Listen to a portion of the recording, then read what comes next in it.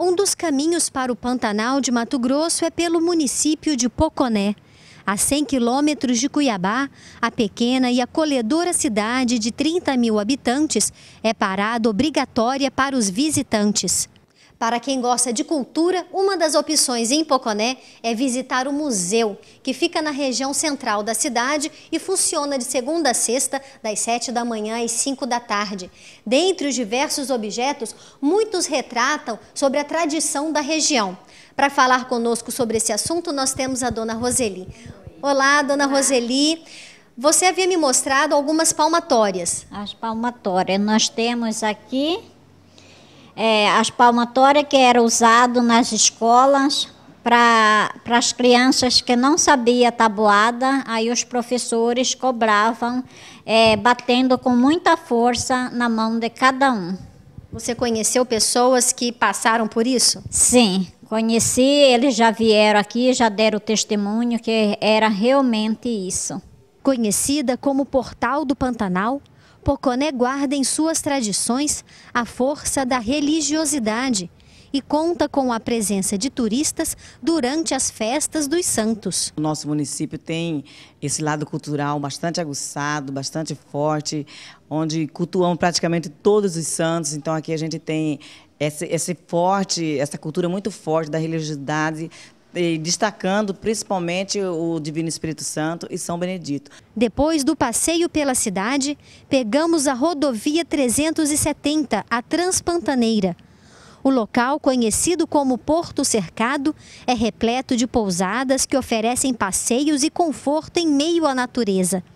Rodamos 40 quilômetros pela Estrada Parque até chegarmos à estância Sesc Pantanal.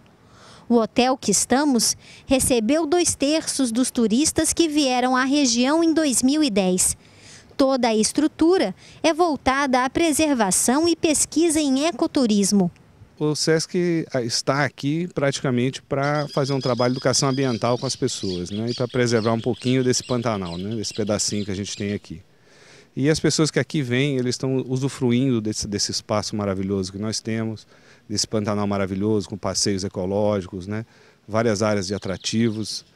O Pantanal é uma planície de inundação periódica, reconhecida pela sua biodiversidade. Entre novembro e março, a época das cheias, bacias e canais de água se formam, oferecendo um show de beleza foram catalogadas 650 espécies de pássaros, 100 répteis, 200 mamíferos, 350 peixes e quase 2 mil plantas. Tudo isso à vista do turista. O passeio de barco é, é, é muito relaxante, é muito gostoso. gosto muito do passeio de barco. Já fizemos dois. Além de passeios de barco, os visitantes podem andar com o cavalo pantaneiro, fazer safari e identificar mamíferos com hábitos noturnos, como lobinho. Pela manhã, as trilhas no meio da mata são repletas de surpresa. Um grupo de turistas franceses foi recepcionado por um casal de macaco prego. If I have to, to remember one thing, maybe the monkeys, because first is monkeys we've never seen, and it's really funny to see them in the trees. Uh, nature is incredible and animals too, and it's really wonderful. E há muito mais.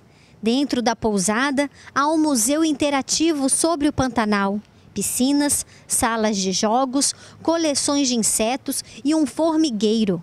Uma das grandes atrações do complexo é o borboletário, um espaço de 300 metros quadrados com uma tela especial que abriga mais de 1.500 borboletas. O Pantanal e toda a sua exuberância, seu povo e cultura, hoje são patrimônio da humanidade e esperam você para uma visita.